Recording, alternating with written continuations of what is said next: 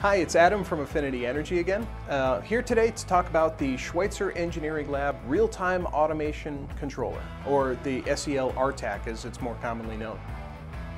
It's just a PLC with some capabilities that go a little beyond what a normal PLC does and is more suitable for a substation environment, which makes it great for a solar or power, uh, solar power or power application. It's got more communications capabilities. Not only does it have an excellent execution engine, but it's really handy at configuring drivers to go and get information from devices. Early in my solar career, the RTAC was used in substations primarily as a data concentrator. It would go out and get the critical information from the various devices around the site, pull it all into one place so that our monitoring system or our customer's off-site telemetry system could go to the RTAC, pull the data that it needed, and get it off the, off the site for their own logging or monitoring purposes.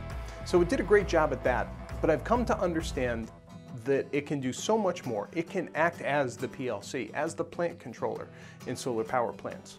So it's uh, got a pretty sophisticated engine. It can do relay ladder logic. It can do function charts. It can do sort of state diagram type control. Uh, we're using it in the field where we have to do a couple different functions, whether it's ramp rate control for inverters, active power curtailment, or uh, power factor control.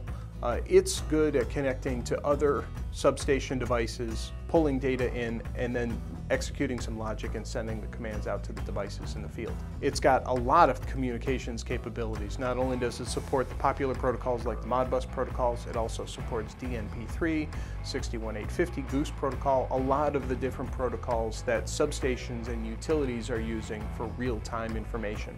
Uh, talks IRIG-B, uh, also has interfaces to things like GPS clocks and all of the full line of uh, Schweitzer automation equipment, so relay control, etc. Um, so it's very flexible in what it can do. It's very fast at what it can do.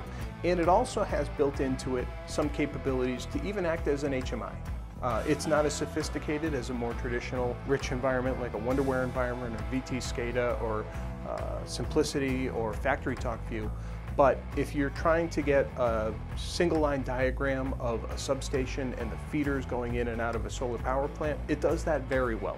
It can do some additional graphics. Uh, like I said, nothing as sophisticated as a traditional HMI, uh, but it's got some great capabilities at a relatively low price.